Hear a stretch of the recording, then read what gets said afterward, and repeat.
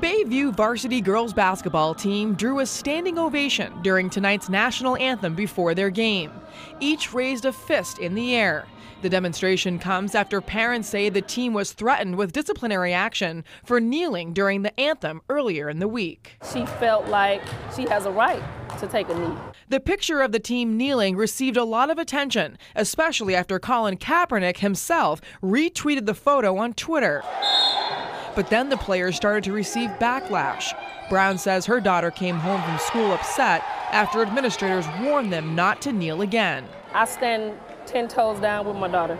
But not all family members support the team's actions. Louise Gonzalez doesn't want to see her granddaughter get in trouble. Before you do anything like that, you should find out what the consequences are.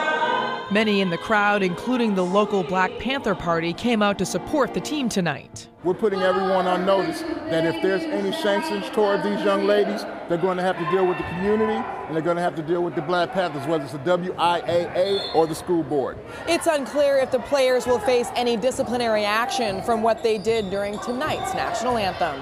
At Bay View High School, Christina Palladino, WISN 12 News.